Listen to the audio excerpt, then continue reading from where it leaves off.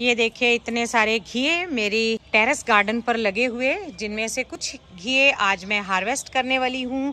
तो आज के वीडियो में मैं शेयर करने वाली हूँ कुछ हार्वेस्टिंग साथ ही कुछ टिप्स हार्वेस्टिंग के, कि कब हार्वेस्ट कर लेना चाहिए सब्जियों को। सबसे पहले तो भिंडियों की हार्वेस्टिंग ये देखिए, ये भिंडी का प्लांट कितना ऊपर तक चला गया है। तो भिंडियाँ तो ऑलमोस्ट हर रोज़ हार्वेस्ट करनी चाहिए।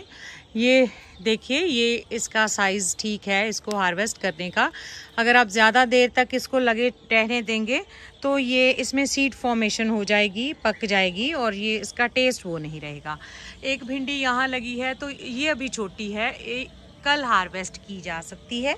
इसी तरह, इस तरह भी एक भिंडी लगी हुई है तो आप इसका साइज़ भी देख सकते हैं, लेकिन अभी ये बिल्कुल फ्रेश है।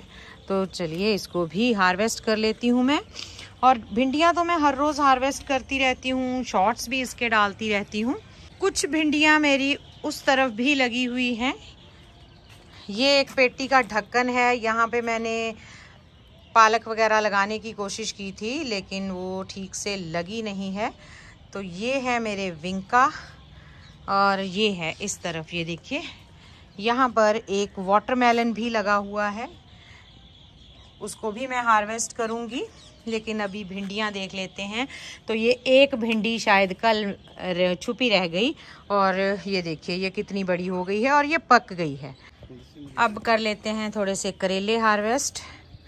सो ये यहाँ पर करेले लगे हुए हैं। ये एक इस तरफ़ है। तो करेले जो हैं, वो भी अगर पकने लगेंगे तो ये हल्के से पीले रंग के होने लगते हैं। तो उससे पहले ही आपको इसको हार्वेस्ट कर लेना चाहिए, नहीं तो इसमें बीज बन जाते हैं और फिर ये भी उतने टेस्टी नहीं रहते। एक बेल लगी हुई है, इस पर भी मैंने ये अभी एक करेला देखा था, ये पुरानी बेल है, इस पर करेलों का साइज़ छोटा है, पहले तो इस पर करेले आए ही नहीं थे, लेकिन अभी पीछे हमने इस पर से काफ़ी करेले हार्वेस्ट किए। इसके बाद हम करने वाले हैं हार्वेस्टिंग ये जो घिया लगे हुए हैं तो सबसे पहले तो ये बड़ा सा घिया जो है, इसकी हार्वेस्टिंग करते हैं। ये आ गया पहला घिया। ये देखिए वाओ और अभी इसमें से देखते हैं, वो एक उधर घिया लगा हुआ है। तो इसको हार्वेस्ट कर लेते हैं। तो घिया भी जब इस पर हल्की सी लुई हो, तभी इसको हार्वेस्ट कर लेना चाहिए, जब ये ग्रीन कलर का हो। तो अभी ये ग्रीन कलर का है, लाइट की थोड़ी सी प्रॉब्लम है, इसलिए ये आपको थोड़ा वाइट नज़र आ रहा है। तो जब इसके ऊपर की लुई ख़त्म होने लगती है ना, तब इसके अंदर बीज बनने लगते हैं। तो इसलिए पहले ही इसको हार्वेस्ट कर लेना चाहिए। और एक घिया हम और हार्वेस्ट कर लेते हैं, ये वाला। इसको वैसे चाहें तो हम छोड़ सकते हैं एक आध दिन के लिए, लेकिन इसकी लुई थोड़ी सी कम हो गई है। तो चलिए इसको कल हार्वेस्ट करूँगी मैं, अभी इसको रहने देते हैं। एक बात और कि अगर आपने ये घिया बरसात के मौसम में लगाए हैं तो इनको कवर करना मत भूलिए। मैंने इनको कवर किया था, ये छोटे थे, लेकिन अभी ये इसका साइज़ बड़ा हो गया तो ये इतना पोर्शन इसका बाहर रह गया। तो ये देखिए, इस पर कैसे इंसेक्ट्स ने अटैक कर दिया है। और अगर मैं आज इनको हार्वेस्ट नहीं करती तो ये जो अंडे दिए हुए हैं, इसमें से लार्वा निकलेगा और वो सुंडियाँ हम बोलते हैं, और वो इस फल को ख़राब कर देगा। तो अभी हम इसको साफ़ कर लेंगे और घिया हमारे काम आ जाएगा। ये कुछ फलियाँ भी लगी हुई हैं, लेकिन अभी इनको मैं हार्वेस्ट नहीं करूँगी। ये अभी छोटी हैं। सो कल तक होपफुली इनका साइज़ बड़ा हो जाएगा, ये परसों तक रेडी हो जाएँगी।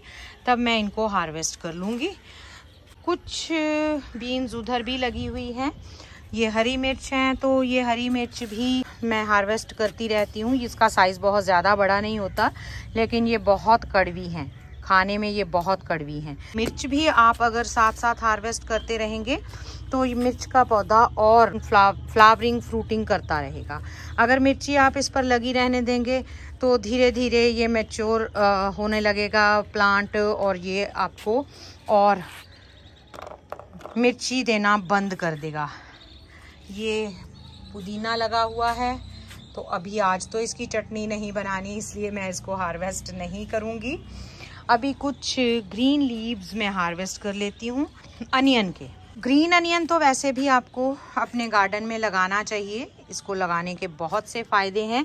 इंसेक्ट अटैक कम हो जाता है और सेकेंडली आप इस ग्रीन अनियन को अपनी कुकिंग में इस्तेमाल करिए। आप किसी भी चीज़ में इनको सूप्स में डालिए, दाल में, सब्ज़ी में, तड़का लगाने के लिए काम आता है। तो आप किसी भी तरह से इनको यूज़ कर सकते हैं।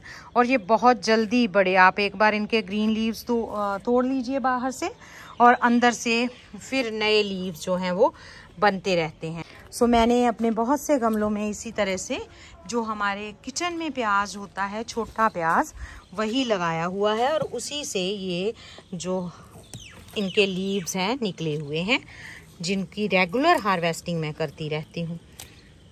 और ये हैं बैंगन लगे हुए। तो इनको भी मैच्योर होने से पहले ही तोड़ लेना चाहिए। ये अभी साइज़ छोटा है। साइज़ कितना बड़ा हो, ये तो वैरायटी पे डिपेंड करता है। कुछ बड़े बैंगन होते हैं, भरते वाले तो ऑब्वियसली आप छोटे नहीं तोड़ोगे, लेकिन ये जो बैंगन है, इनका साइज़ ज़्यादा बड़ा नहीं होता। तो ये अभी रेडी है हार्वेस्टिंग के लिए। ये ये छोटे वाले बैंगन है। ये इसका मैक्सिमम साइज़ इतना ही होता। अगर मैं इसको और बड़ा होने दूँगी तो ये इसमें सीड फॉर्मेशन होने लगेगी, इसका कलर चेंज होना, होने लगेगा। तो बैंगन जब इस तरह से शाइनी हो, बाहर से सरफेस उनकी, तभी उनको हार्वेस्ट कर लेना चाहिए। कि अब ये बैंगन एक लगा है। इसका साइज़ अभी छोटा है, लेकिन ये नीचे से वाइट होने लगा है। तो इसका मतलब कि ये मेच्योर हो गया है और इसको भी हार्वेस्ट कर लेना चाहिए। और इसी तरह से एक और बैंगन ये लगा हुआ है, इसको भी हम उठा कर देख लेते हैं कि ये नीचे से वाइट तो नहीं होने लगा। सो ये भी, ये देखिए, इसकी शाइनिंग चली गई है तो ये भी चली नहीं गई, लेकिन जा रही है। तो इसको भी हार्वेस्ट कर लेना चाहिए। तो आज मैंने ये इतने सारे बैंगन हार्वेस्ट कर लिए हैं। सो चलिए ओवरऑल मैं दिखाती हूँ कि आज मुझे कितनी हार्वेस्टिंग मिली है अपने टेरेस गार्डन से। सो ये हो गए बैंगन। यहाँ रख देती हूँ इनको मैं। और साथ में ये करेले, अभी कुछ करेले और लगे हुए हैं। तो वो अभी तोड़ने के लायक नहीं हुए थे। ये हैं भिंडियाँ और भिंडियाँ मैंने कल भी तोड़ी थी, परसों भी तोड़ी थी। सो बहुत सी मैंने फ्रिज में रखी हुई हैं। तो ये दो तीन दिन में ये हमारे खाने लायक जितनी सब्ज़ी चाहिए, उतनी हो जाती है। और ये दो घिया और साथ में हरी मिर्च मिल गई है और साथ में ग्रीन अनियन मिल गया है।